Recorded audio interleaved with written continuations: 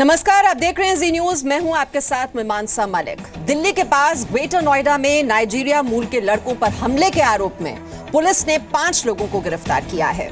25 मार्च को ग्रेटर नोएडा में एक स्थानीय छात्र मनीष की संदिग्ध हालत में मौत हो गई थी। आरोपियों की गिरफ्तारी की मांग को लेकर कल शाम सैकड़ों लोगों ने कैंडल मार्च निकाला। पास के एक मॉल में घूम रहे कुछ नाइजीरिया मूल के लड़कों पर कैंडल मार्च में शामिल कुछ प्रदर्शनकारियों ने हमला कर दिया। लोगों का आरोप यह है कि नाइजीरिया के इन लड़कों ने ड्रग्स का ओवरडोज देकर मनीष की हत्या की। पूरी खबर आपको दिखाएँ, उससे पहले इस खबर की क्रेडिबिलिटी आप देख लीजिए। पहली विश्वसनीयता का जो पैमाना है, खबर की जगह पर रिपोर्टर की मौजूदगी। तो आपको बता दें, इस खबर में जी न्यूज़ के रिपोर्टर मौके पर मौजूद हैं। दूसरी विश्वसनीयता का मापदंड ये है कि खबर सत्यापित है या नहीं। तो हम आपको ये भी बता दें कि ये खबर सही है। तीसरा पैमाना है गवाह या एक्सपर्ट की राय। तो इस खबर में गवाह मौजूद हैं और चौथा पैमाना है खबर की तकनीकी विश्वसनीयता का। इस खबर में दिखाए गए वीडियो पर आप भरोसा कर सकते हैं क्योंकि ये वीडियो जी न्यूज़ के कैमरे से रिकॉर्ड किया गया है।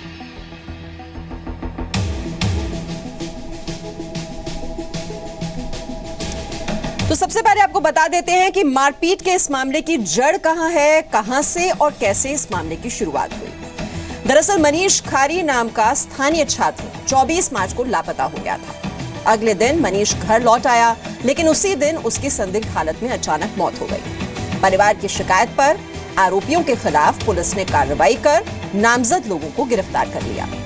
लेकिन पुलिस को उनके खिलाफ कोई सबूत नहीं मिले। 27 मार्च को सैकड़ों लोगों ने विरोध प्रदर्शन शुरू किया।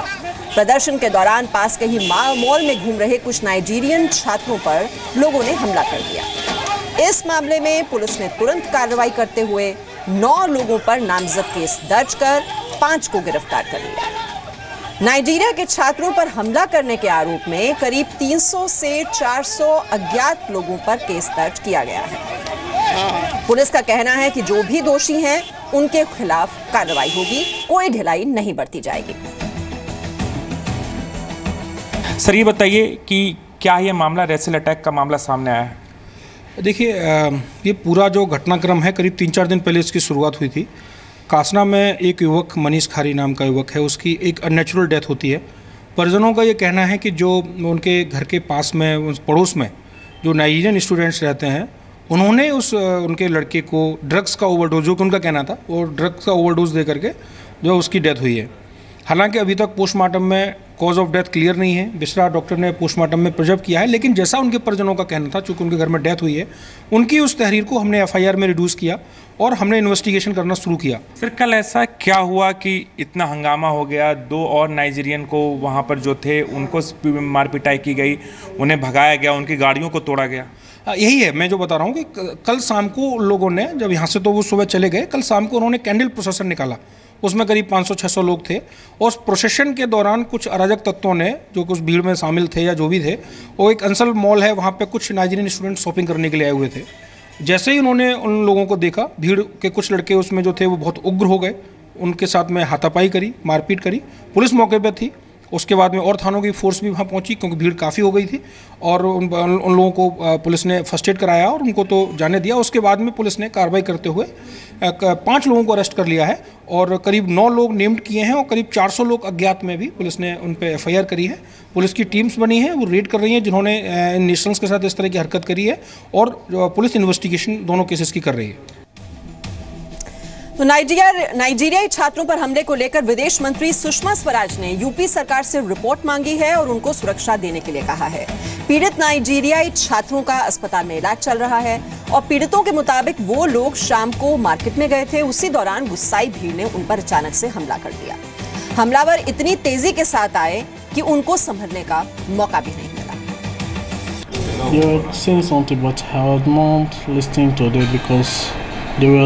They were saying something, but I was not listening to them because they were uh, because they, they were too many, mm. and they were shouting, and some of them was eating, eating me. I was I was not listening to what they were saying. Uh, well, on the 27th of March, uh, I went to school and I came back. I never knew that something bad will happen to me. I ate uh, some food, so I was feeling some pain my stomach. So I told my brother, please, we should go out and buy some drugs. Delhi के पास विदेशी छात्र के साथ मारपीट।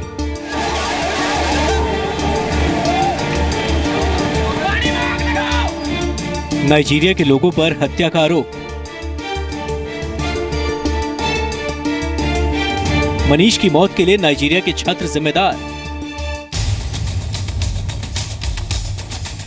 जब अपराधी arrest था तो उसे छोड़ने का क्या राइट बनता है? विदेश मंत्री ने यूपी सरकार से मांगी रिपोर्ट। दिल्ली के पास ग्रेटर नोएडा में बारहवीं के छात्र मनीष की मौत पर सस्पेंस गहराता जा रहा है। आरोपियों की गिरफ्तारी की मांग को लेकर ग्रेटर नोएडा में लोगों ने नाइजीरिया के छात्रों पर हमला कर दिया और जमकर तोड़फोड़ की। कुछ ही देर में हालात बेकाबू हो गए। 25 मार्च को ग्रेटर नोएडा की एनएसजी सोसाइटी में मनीष नाम का लड़का टहलने निकला था।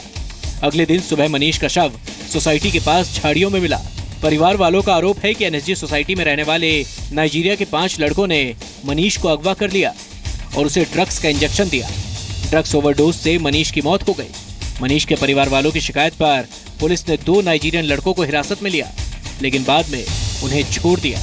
आरोपियों को छोड़े जाने पर लोगों का गुस्सा भड़क गया और उन्होंने एसएसपी दफ्तर का घेराव किया। जब तक वो पाँच आदमी बंद थे तो जो पाँच आदमियों को कस्टडी में होने के बाद जो कार्य को अंजाम दे रहे थे जो बच्चे को सारी रात दबाए हुए थे वो कौन थे? अगर नाइजीरियन एम्बेसी ये कहती है कि भाई ये हमारे यहाँ बंदे रह रहे तो नाइजीरियन एम्बेसी उनके लिए फैसिलिटी अपने आप अवेलेबल कराए और उन्हें नोएडा से बिल्कुल अलग किया जाए। इसके बाद शाम को मनीष की याद में लोगों ने कैंडल मार्च निकाला। उस दौरान परी चौक पर विरोध प्रदर्शन में शामिल कुछ लोगों की नज़र। नाइजीरिया के दो छात्रों पर गई। गुस्साए लोगों ने नाइजीरिया के लड़कों पर हमला बोल दिया। एक ने भागकर अपनी जान बचा ली। लेकिन दूसरा लड़का भीड़ की चपेट में आ गया। लोग उस पर टूट पड़े। प्रदर्शन कर रहे लोगों ने नाइजीरिया के छात्रों की कार को भी निशाना बनाया। बिगड़ते हालात पर काबू पाने के लिए पुलिस को लाठी चार्ज भी करना पड़ा। भीड़ के हमले में घायल नाइजीरिया के लड़के को अस्पताल में भर्ती कराया गया है। इस घटना से नाराज़ नाइजीरिया के छात्रों ने अपहरण और ड्रग्स देने के आरोप को गलत बताया है और कासना कोतवाली के सामने सड़क जाम कर प्रदर्शन किया। पुलिस ने विदेशी नागरिकों को सुरक्षा का भरोसा दिलाया है। वहीं मनीष के परिवार वालों के मुताबिक नाइजीरियन लड़के नशे का कारोबार करते हैं और इनमें से कई का वीज़ा भी खत्म हो चुका है जिसके बावजूद उन पर कोई कार्रवाई नहीं होती। कार्रवाई में हमें कोई किसी तरह का कोई भी कार्रवाई का काम दिखाई नहीं दे रहा। उनको हमने नाम दर्ज रिपोर्ट दर्ज होने के बाद भी इन्होंने अरेस्ट करने के बाद में उनको उसी शाम को छोड़ दिया। मामले की गंभीरता को देखते हुए विदेश मंत्री सुषमा स्वराज ने यूपी सरकार से पूरे मामले पर रिपोर्ट मांगी है, लेकिन इस सवाल पर अभी तक सस्पेंस बना हुआ है कि मनीष की मौत कैसे हुई और उसके गुनहगार कौन है। Amit Chaudhary, Zee media, Noida. तो बहुत ही गंभीर मुद्दा है और इसी पर और जानकारी के लिए इस वक्त हम रुक करेंगे। हमारे सहयोगी राजू राज इस वक्त हमारे साथ हैं। राजू, यहाँ पर दो मामले हैं और दोनों ही मामले की इन्वेस्टिगेशन हो रही है। नाइजीरियाई छात्रों पर जो मारपीट की गई, उनके साथ हमला किया गया, वो कौन लोग थे? और साथ ही साथ मनीष की जो मौत हुई, क्या वो ड्रग्स की ओवरडोसेज की वजह से ही हुई? इन दोनों ही मामलों में जाँच अभी तक कहाँ तक पहुँच पाई? देखिए, सबसे पहले बता दूँ कि मनीष की जो मौत हुई संदिग्ध परिस्थिति में, इसमें जो परिवार का एलिगेशन है कि जिस प्राइवेट अस्पताल में मनीष को भर्ती कराया गया था, वहाँ के डॉक्टरों ने परिवार वालों को बताया कि मनीष ने ड्रग्स का ओवरडोज लिया, जिसकी वजह से उसकी अस्पताल में मौत हुई। इस मामले में पुलिस, जिन पाँच नाइजीरियन पे आरोप लगाया गया, पुलिस ने पहले उन्हें डिटेन किया, उसके बाद उनके खिलाफ चूँकि कोई एविडेंस पुलिस को नहीं मिला, लिहाजा पुलिस ने उन्हें छोड़ दिया और पुलिस का कहना है कि इस पूरे मामले में जाँच कर रही है। पोस्टमार्टम रिपोर्ट इसमें काफ़ी अहम है। सरकारी अस्पताल में मनीष का पोस्टमार्टम किया गया, जिसका विसरा प्रिजर्व करके आगरा भेजा गया है, जिसकी रिपोर्ट आने के बाद पुलिस इस पर में आगे की कार्रवाई करेगी और पुलिस जो साइंटिफिक एविडेंस है, वो जुटाने में लगी है पहले मामले में। जहाँ तक दूसरा मामला है, जो कल शाम को हुआ, जहाँ पर लोग प्रोटेस्ट कर रहे थे कैंडल मार्च निकाले थे, वहाँ पर लोगों की ये नाराज़गी थी कि नोएडा और ग्रेटर नोएडा के अंदर जो नाइजीरियन छात्र रहते हैं, उन्हें यहाँ से निकाला जाए। चूँकि यह कानूनन पॉसिबल नहीं है पुलिस उन्हें समझा रही थी इसी दौरान उसी भीड़ में से कुछ ऐसे शरारती तत्व थे या फिर ऐसे लोग थे जिन्होंने देखा अंसल प्लाजा मॉल के अंदर कुछ नाइजीरियन छात्र जो शॉपिंग के लिए आए थे उन्हें उन्हें पकड़ लिया और उनके साथ मार पिटाई की और ये लोग जब भागते रहे किसी ने वहाँ पर उनकी मदद राजू। हमें ब्रेक पर जाना होगा लेकिन बहुत ही संक्षेप में बता दें कि जो असुरक्षा की भावना नाइजीरियाई छात्रों के बीच अब है उसे अब सुनिश्चित करने के लिए अब क्या किया जा रहा है उनका डर दूर करने के लिए